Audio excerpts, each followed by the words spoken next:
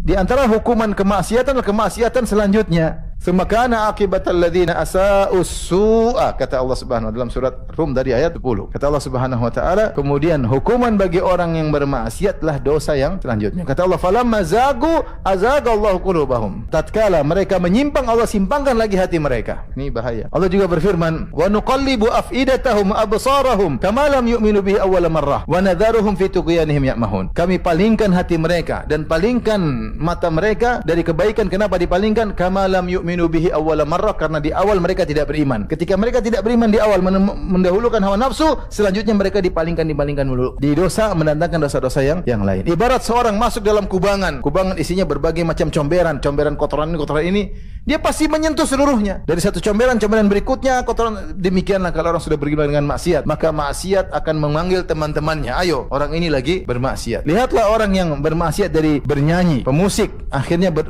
selanjutnya kepada khamar, mabuk, kepada khamar kemudian narkoba, dan narkoba kemudian apa? Zina dan demikian. Kemudian kadang-kadang bunuh diri.